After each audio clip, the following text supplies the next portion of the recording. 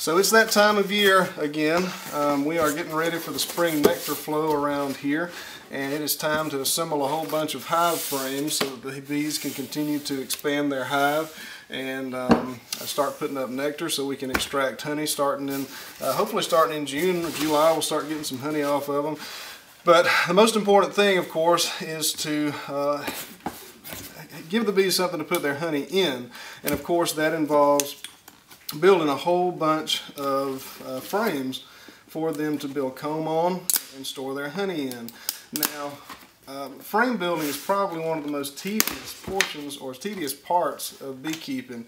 Uh, it takes quite some time to get all of those little frames together to um, uh, to build them into something. There's a whole lot of pieces and parts that you have to deal with.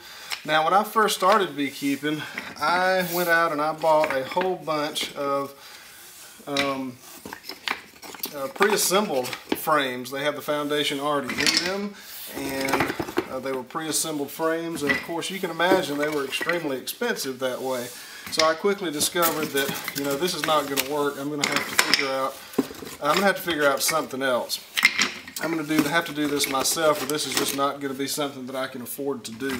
So I got some and I attempted to, attempted to assemble them myself and assembling frames one at a time really honestly just doesn't work. You need some kind of jig in order to be more efficient with the assembling of, of these frames. So I got on the internet of course like anybody would do and I looked up different designs on frame jigs. And the ones that I found were kind of complicated. They had these, these springs and, and uh, whatever else in them that just didn't make, I don't know, it almost seemed like they were complicating an issue that they were trying to solve. So I thought about it long and hard and came up with my own design. So let's put this to the side and get that out. So y'all can check this out. This is what I came up with. Now honest to goodness, all this is, is two wooden boxes of different sizes, one inside the other. Now this one right here, it says frame assembly jig, nine frames. The reason it says nine frames, I probably um, did the dimensions wrong in the first place and ended up with the wrong size. So, seeing as how I use 10 frame equipment, I had to make this one instead. So, all this is, as you can see, is two different size wooden boxes stuck together. Now, if you want to stop now and get a piece of paper and pen handy, I'll give you the dimensions of these two boxes so you can build your own. I mean, this is like, honest to goodness, this is probably 30 minutes worth of work to get these done and it'll save you hours. Um, I will post these dimensions in the description of this video, but I'll go ahead and uh, give them to you now. This is just a simple butt jointed box and these two end pieces are going to measure, this is 3 quarter inch lumber, these two end pieces are going to measure, it's going to be 15 and 7 eighths on the ends right here. Now these middle two pieces, your inside dimension is going to be 17 and 7 eighths. The other box, it's the same concept. It's a butt joint box. And it's just a little bit smaller than the other one, designed to fit inside of it. The end pieces are 13 and 5 eighths and these inside dimensions are going to be 15 and 3 sixteenths. Now that doesn't have to be exact. I'm sure you can get away with 15 and a quarter. It's really not that serious. But I'll put those dimensions in the description of this video so you can build uh, build your own if you if you if you choose to. So let's go ahead and and get started here. And I will try to give y'all an idea of how quick it is. Now, there was a time when I had a nail gun when I was doing this and using my dad's tools. I had access to a nail gun and I'm sure I could run up and get it if I wanted but I'm just gonna I'm just gonna use what I've got in my place here.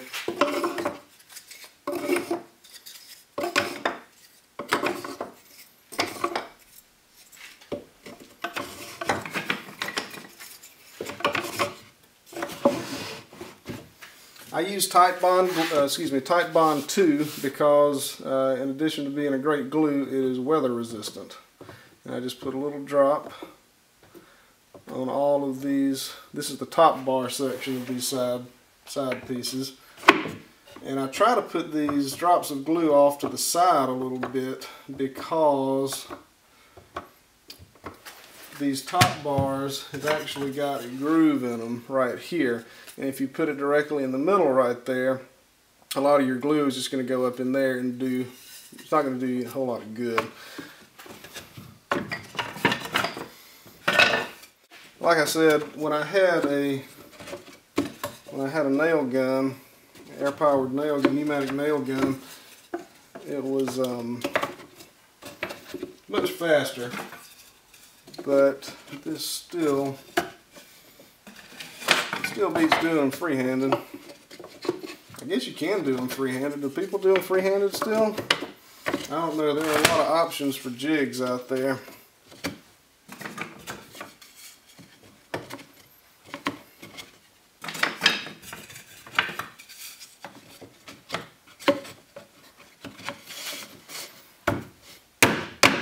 Should be good and seated. I like to use four penny nails for these top bars. The standard frame nails that they send you with these frames are quite small and I, I suppose you could probably use two but that's a that's a four penny nail right there.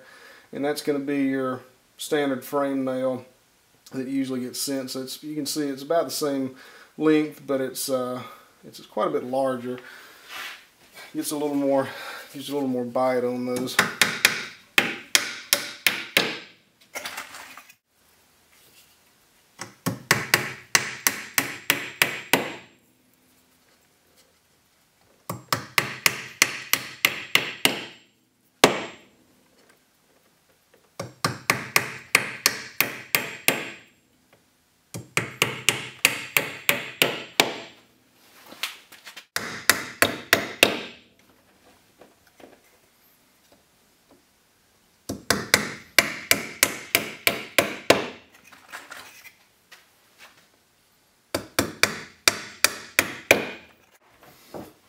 Missed one right here. But that was driving some of y'all crazy.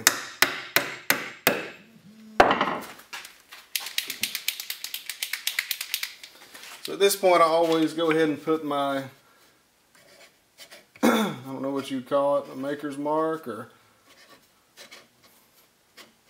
brand or I don't know.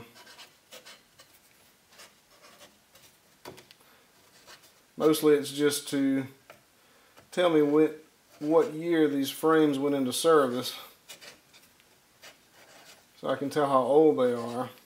Now I use organic treatments so for mites so the purpose of this is not so I know when to remove frames because of pesticide buildup, contamination, but it's just to let me know the age of these frames. So at this point, take it, flip it over. I'm going to do the same thing on this side. And for these, it's kind of hard to get just a very small amount on the uh, bottom bar.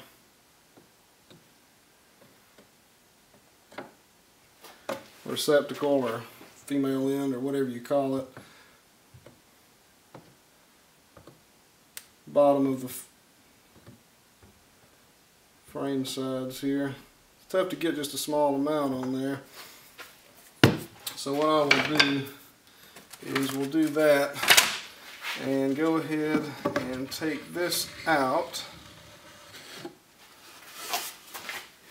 And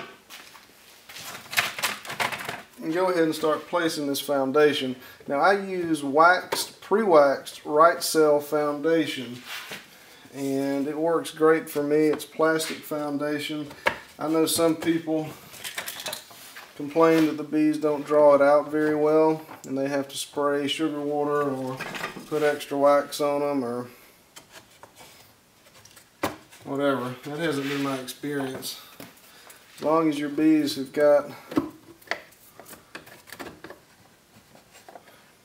sufficient nectar, they'll draw out. There was a time when I didn't use any foundation at all and I let the bees build whatever size foundation that they cared to build and I believed in that approach and I still do believe in that approach because you know there's the whole there's the whole debate about you always get one that doesn't want to cooperate with you. There's the whole debate of course about the um, small cell foundation and large cell foundation and how small cell foundation was the original is the proper cell size for the honeybee and that's what's found in nature and I believe the size is 4.8 millimeter and the only reason that we have 5 point, was it 5.4 millimeter? Something like that. The only reason that we have that is because it allows more honey to be stored. Is it that? Or is it or is it the quest to build a bigger bee that can in turn store more honey or produce more honey? I'm not sure. It's one of those things. But either way, I used to I used to believe in the natural approach to um, to let bees build out their own comb and build whatever size they pleased. And I really think that's a good approach. I think that's a, a great approach. Quite honestly, I would continue to do it except for I get a lot of blowouts when I'm extracting honey that way. And I realize that you can wire those frames, pre-wire them, and let the bees build build comb around that wire, and that will solve that problem. But, man, that stuff is really time consuming.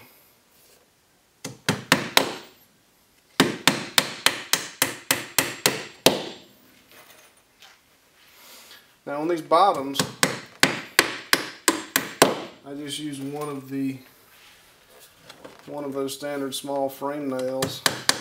The reason I the reason that I like those big heavy nails on the top is because I have experienced it quite a few times and I know that you have too if you've kept bees for any length of time it's going to happen.